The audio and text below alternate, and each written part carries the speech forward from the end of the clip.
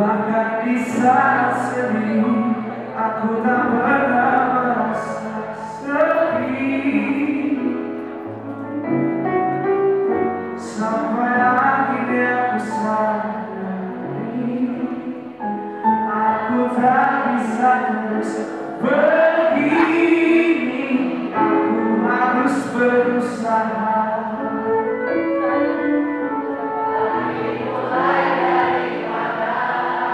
하여튼